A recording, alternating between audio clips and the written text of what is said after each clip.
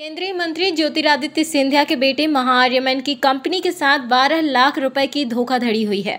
सब्ज़ी कारोबार करने वाली hyper grocer private limited company के साथ ये फ्रॉड हुआ है। बताते चले कि ये जालसाजी कंपनी के प्रोक्यूरमेंट मैनेजर और उसके साथी वेंडर्स ने की है। कंपनी के डायरेक्टर केंद्रीय मंत्री ज्योतिरादित्य सिंधिया के बेटे महारिमन सिंधिया और उनके पार्टनर सूर्यांश जैन हैं। पुलिस अधिकारियों ने इसकी पुष्टि की है। हाई प्रोफ़ाइल मामला सामने आने पर जालसाजी में शामिल लोगों को तलाश किया जा रहा है। उत्कर्ष हेंडे निवासी श्रीधर अपार्टमेंट ने पुलिस को बताया, वह हाइपर ग्रोसर कंपनी में प्रबंधक है।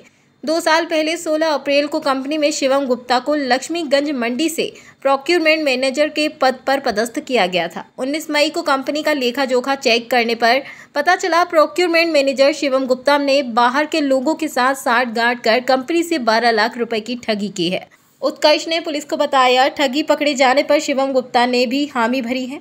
उसने कुछ नए और पुराने वेंडर के साथ मिलकर जालसाजी की है। उसके साथ ठगी में हिंदराज कुशवाहा, विभोर यादव, राहुल कलोटा, विराट जाटव, अरमान खान और कमल साहू शामिल थे। सर्विस टैक्स का पैसा भी ठगा। हाइपर ग्रोसर कंपनी छोटे किसानों से नकद खरीदी करती है, जबकि बड़े सौदे ऑनलाइन होते हैं। इसमें सर्विस टैक्स भी कंपनी वसूलती है। शिवम दो साल तक कंपनी का सर्विस टैक्स का पैसा भी चुराता रहा। पुलिस के मुताबिक कंपनी के प्रोक्यूरमेंट मैनेजर शिवम गुप्ता ने श्याम ट्रेंडिंग कंपनी के नाम से फर्म बनाई थी। शिवम और उसके साथी फर्जी फर्म के नाम से सस्ते दाम पर सब्ज़ी खरीदकर हाइपर ग्रोसर कंपनी को महँगे दामों पर बेचते थे।